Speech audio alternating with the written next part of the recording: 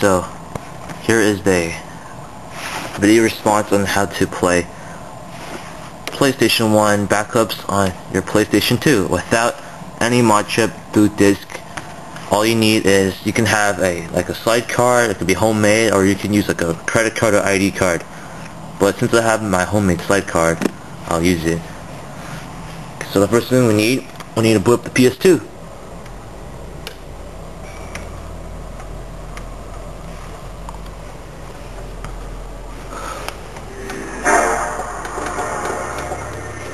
And you let it boot up.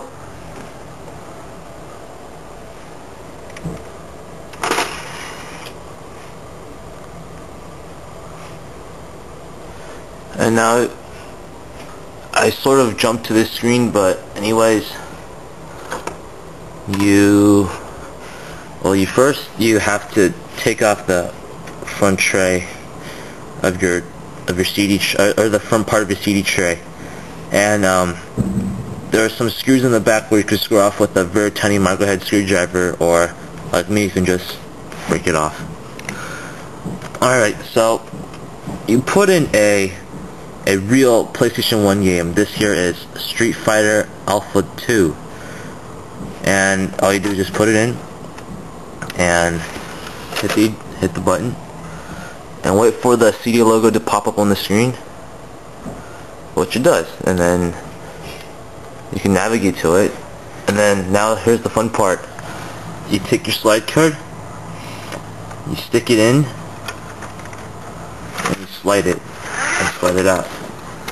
You take out this you put in your backup. This is Final Fantasy VII one of the best games for PlayStation 1 and then you don't use the button but you push it in take your slide card and switch it back like that. Now listen carefully to the sound because if it's running smoothly like like what a regular PS2 does then you're fine but if it's kind of like has like some sort of like um, this uh, weird noise coming out of it then you need to take your uh, slide card in and then re-slide it and slide it back in. Alright, get back to the main screen, you hit X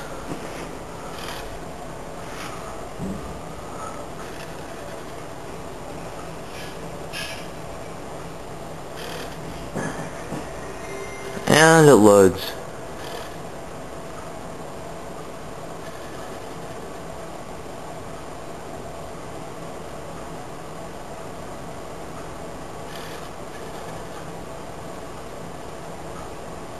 Yep, and here's the beginning.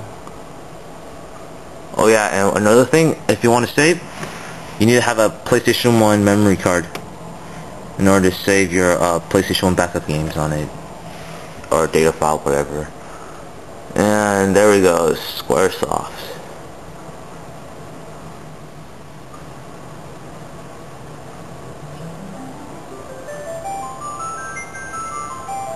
And here you go. Since we're recording, I'll also show you some gameplay. See, here's the controller. It's a PS2 controller. It's nothing different.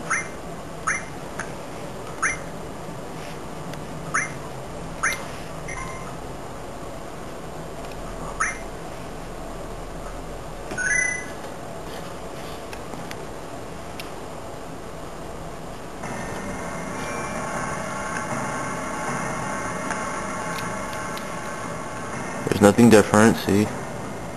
There's cloud.